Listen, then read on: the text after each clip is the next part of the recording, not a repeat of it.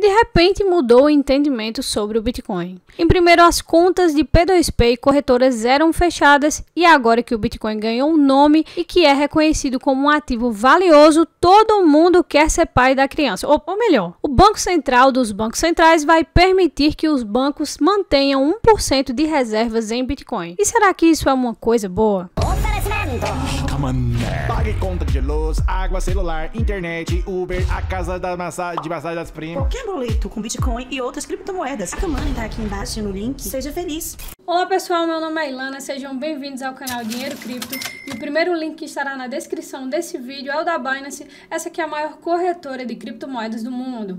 E usando esse link para se cadastrar, você terá um total de 15% de desconto em todas as taxas de trade. E o segundo link é referente ao robô de operações que pode ser configurado na Binance. Meus amigos, o Banco de Compensações Internacionais, BIS, também chamado de Banco Central dos Bancos Centrais, parece ter suavizado a sua posição sobre criptomoedas e pode permitir que os bancos mantenham até 1% de suas reservas em Bitcoin. De acordo com um documento publicado pelo BIS, o Comitê de Supervisão Bancária planeja capitalizar a popularidade do Bitcoin apesar do mercado estar em baixa nas últimas semanas. Nessa semana, o Comitê da Basileia de Supervisão Bancária do BIS publicou um documento consultivo intitulado Segunda Consulta sobre o Tratamento Prudencial de Exposições de Criptoativos, onde limita a exposição total que os bancos podem ter a ativos criptográficos do grupo 2 a 1% do capital de nível 1. O grupo 2 se refere aos ativos que não atendem às condições de classificação e incluem ativos tradicionais tokenizados específicos e moedas estáveis. O mesmo grupo também se refere aos ativos criptográficos não lastreados, ao contrário do grupo 2, o grupo 1 consistirá em ativos tradicionais tokenizados e stablecoins que atendem às condições de classificação.